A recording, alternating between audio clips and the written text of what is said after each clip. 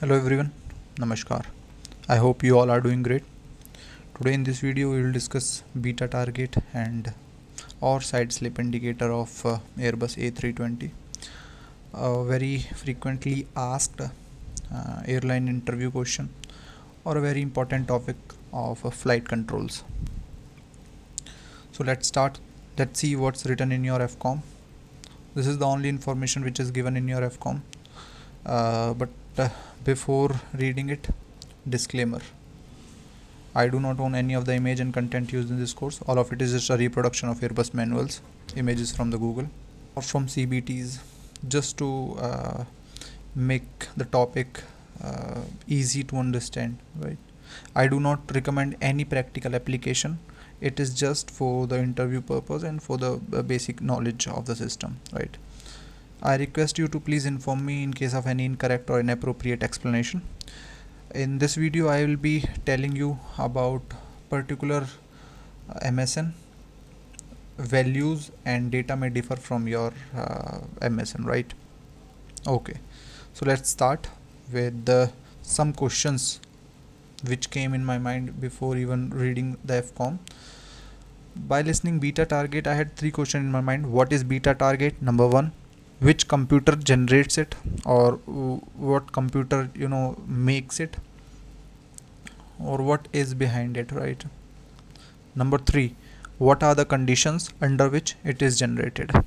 So let's see what's written in your books and then we will ask the same three questions again. So it says uh, if one engine fails the FAC modifies the side slip indication slightly to show the pilot how much rudder to use to get the best climb performance. Keeping aileron, neutral and spoilers retracted. In this case, in case of one engine failure at takeoff or go around, the side slip index on the PFD changes from yellow to blue. So the first question no clears by itself that okay it is uh, uh, nothing but the change of color basically of what? Side slip index. So in general this is uh, your roll indicator and this is your side slip indicator. Right. In case of an engine failure and when some conditions we will discuss when they meet this color of side slip indicator changes from yellow to blue.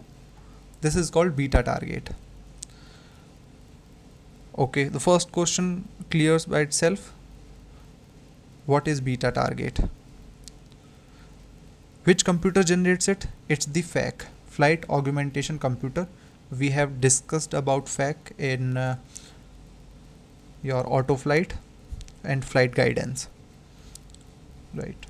So the two questions clears itself that FAC is the computer which generates the side slip indicator or beta target and the beta target is in case of uh, engine failure during takeoff or go around the side slip index of PFD changes its color from yellow to blue and it assists pilot how much rudder to use to get the best climb performance. Now what do you mean by best climb performance? Was aircraft not getting best climb performance?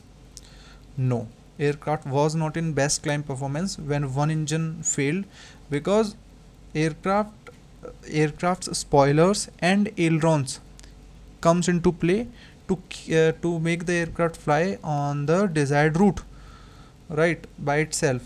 But when you put the rudder by pressing the rudder adequate rudder will neutral the ailerons and spoilers and the climb performance will be improved there will be no uh, extra drag right? So this is the work of uh, this indicator. Your work is to just keep it in center to get the best climb performance. That's it.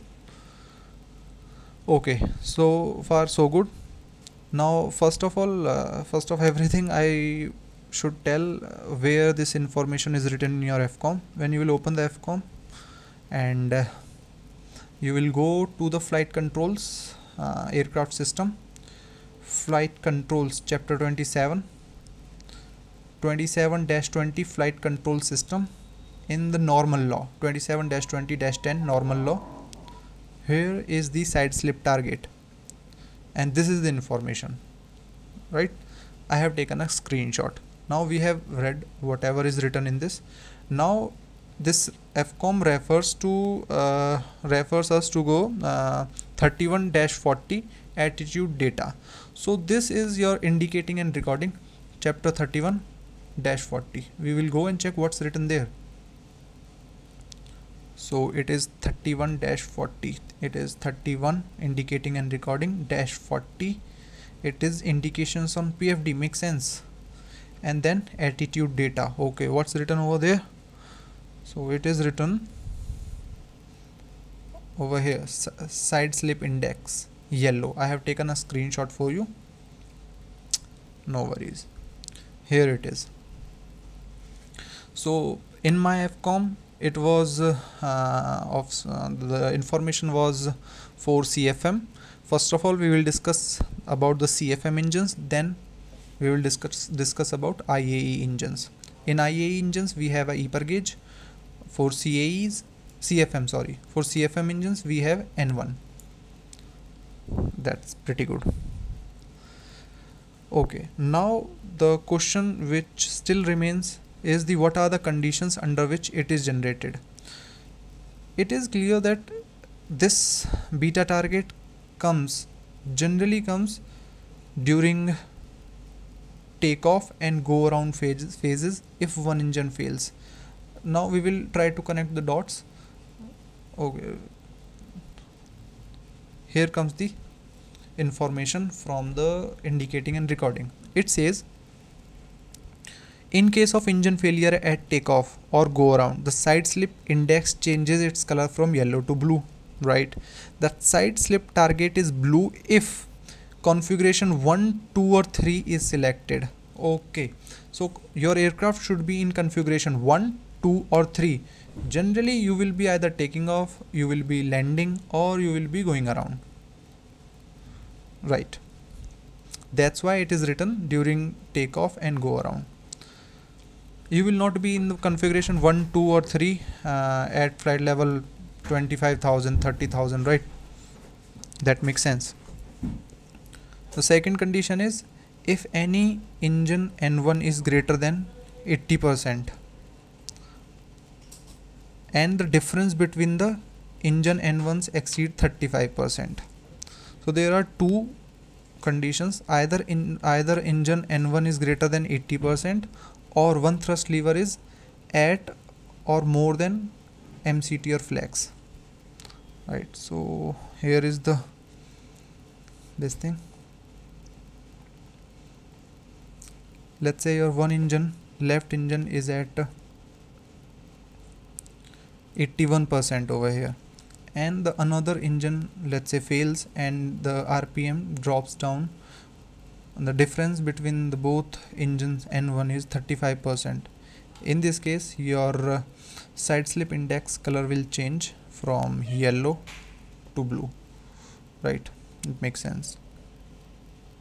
So the difference between the engine N1 exceeds 35% in this case side slip index is called beta target right this was about the CFM engines now we will talk about IAE engines. In IAE engines, we have a EPR gauge. EPR stands for engine pressure ratio, right? Everything is same, but uh, the side slip target is blue if configuration 1, 2, 3 is selected, right? If any EPR is greater than 1.25 or one thrust lever is more than MCT or flex, either any of the engine is more than 1.5 or thrust lever is at or above MCT and the difference between the both EPR is more than 0.25 it is the difference between the both two. Should be more than 0.25 then the side slip index changes its color from yellow to blue and then it's called beta target. Now my third and last question get automatically clears that what are the conditions under which it is generated right? Here are the conditions under which it changes its color from yellow to blue right?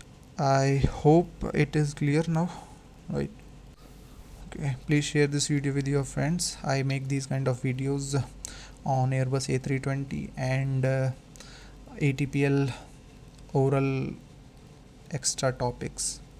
Thank you